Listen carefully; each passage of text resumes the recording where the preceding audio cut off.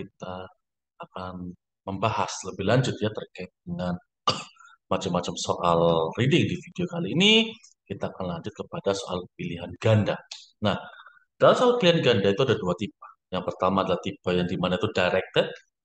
Yang kedua adalah tipe yang non-directed. Maksudnya directed sama non-directed itu apa? Kita sudah dikasih tahu lokasi nyari jawabannya itu di mana. Jadi kita lihat nomor 27 sama 28. 27 jawabannya di first paragraph, 28 jawabannya di second paragraph. Jadi itu yang menjadi yang di mana non directed. Jadi kita sudah tahu ya, kita perlu membaca di paragraf mana.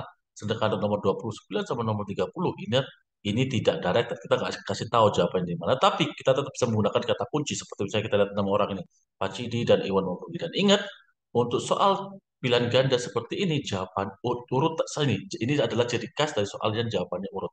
Jadi 27, 28. Jadi sudah lihat first paragraph, second paragraph, otomatis 29 sama 30. Ya setelah the third paragraph. Jadi kita tahu first paragraph, second paragraph, dan kita tahu nanti pasti nomor selanjutnya akan setelah itu. Jadi itu trik atau strategi.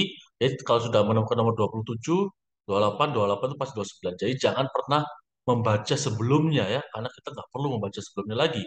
Karena apa namanya soal uh, multiple choice adalah soal yang di mana jawabannya itu urut seperti itu. Oke, jadi ketika kalian mengerjakan soal seperti ini, jangan uh, bingung ya strateginya gimana, nyari lokasinya di mana. Kalau kalian sudah menemukan ibaratnya satu, misalnya nomor 27, itu akan lebih memudahkan bagi kalian. Khususnya ketika soalnya itu yang non-directed ya. Tapi kalau sudah direct seperti ini, ini akan lebih mudah. Seperti itu. Oke, so that's all for multiple choice today. Thank you.